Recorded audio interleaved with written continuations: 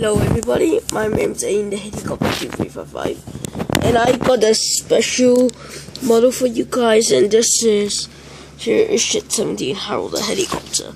I've got another expression face around here.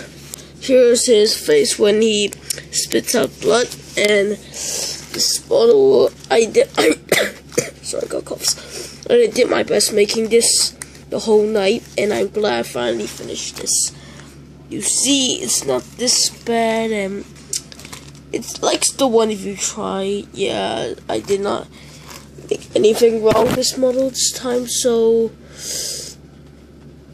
yeah this model actually looks like um, I'll give you a whole view was like on the model and here like this whole Harold the helicopter model from Shed 17 I actually made it by myself. This pillow over here. Although I can't take it off because this I use the tape. And the windows are the same ones that were used in the Shed 17. there's a little bit gaps on that hole. And the face, mm, a little bit okay.